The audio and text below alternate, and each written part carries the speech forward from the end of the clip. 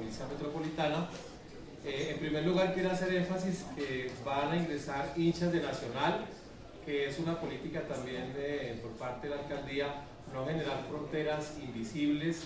en este tipo de partidos, tal vez parafraseando, retomando las palabras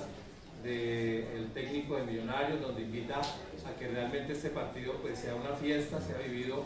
más que un partido de alto riesgo, como que sea ese partido que todos quieren ver, al que todos quieren asistir,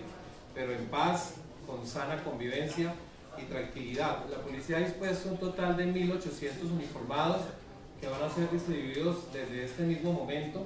Algunos de ustedes tal vez han podido observar que ya eh, la policía está haciendo una revisión de las graderías, asimismo por parte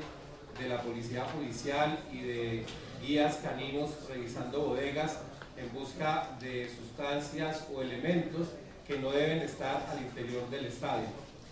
De igual forma, mañana en el servicio principal, que contaremos con 1.600 uniformados de diferentes especialidades, como la Fuerza Disponible, el Escuadrón Antidisturbios, eh, Escuadrones Motorizados, Carabineros, Policía de Infancia y Adolescencia, eh, se establecerán tres anillos de seguridad y cuatro grandes cuadrantes que van a contar o van a establecerse mejor desde la avenida 68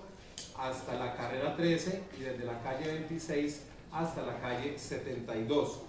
De otro lado también queremos eh, invitar a los espectadores para que se acerquen al estadio, que lleguen lo más pronto posible o aprovechen que se va a abrir puertas desde las 3 eh, y 45 de la tarde, 4 horas antes del inicio del partido, para los hinchas que van a ingresar sus elementos o símbolos,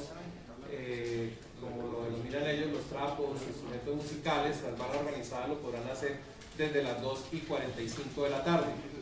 También es eh, importante señalarles a los espectadores que eviten tal vez el comportamiento y una mm, conducta que hemos venido observando en estos partidos de, de esta magnitud es la reventa y algo que ustedes mismos también eh, pues se han generado muchas preguntas. La reventa pues no está tipificado como un delito, ni siquiera una contravención,